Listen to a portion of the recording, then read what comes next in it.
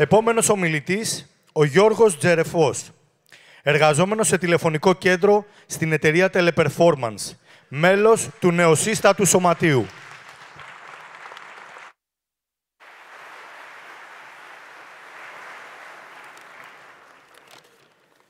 Τους τελευταίους μήνες, εργαζόμενοι στην Teleperformance και σε άλλα τηλεφωνικά κέντρα, βρισκόμαστε σε απεργιακέ κινητοποιήσεις με το συνδικάτο μας, το ΣΕΤΙΠ, και έχουμε καταφέρει να φτιάξουμε το δικό μας σωματείο εργαζομένων στην Teleperformance.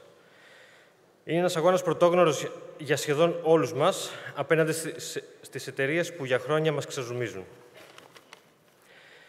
Παίρνω με τη σειρά μου λοιπόν το λόγο για να μοιραστώ τη δική μου εμπειρία με την κατάσταση που βιώνουμε καθημερινά στον χώρο εργασίας μας. Καταρχάς, κάτι που πρέπει να γνωρίζετε για εμένα είναι ότι δεν βρίσκομαι πίσω από καμία πολιτική παράταξη και ότι δεν είχα απεργήσει ποτέ. Μέχρι τις 8 Φλεβάρι που πήρα το θάρρος, παρόλο το φόβο και την αγωνία.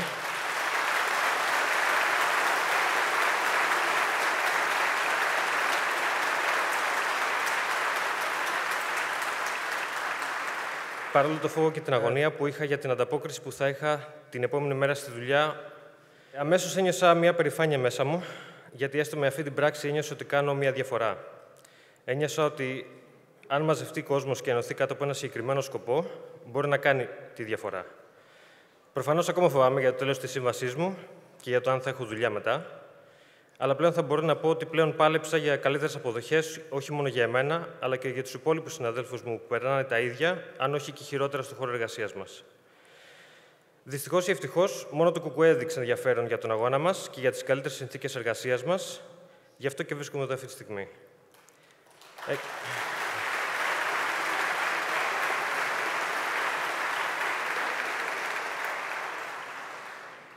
Έκανα απεργία και τις τρεις φορές και θα κάνω παραπάνω, μέχρι τουλάχιστον το Υπουργείο να κάτσει να διαπραγματευτεί μαζί μας.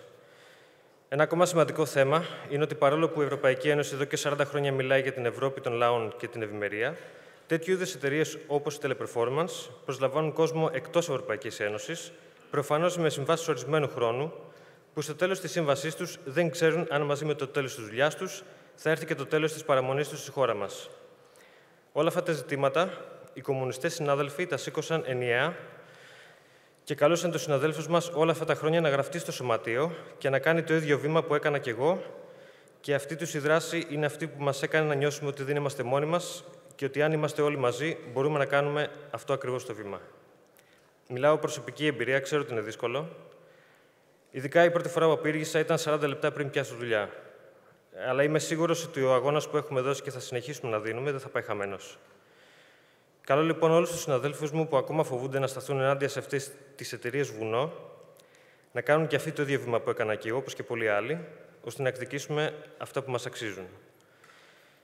Τέλος, βλέπω πλέον ξεκάθαρα ότι για να το πετύχουμε αυτό, το σκοπό μας, χρειαζόμαστε ένα δυνατό κουκουέ που είναι κάθε φορά μπροστά στον αγώνα. Ευχαριστώ.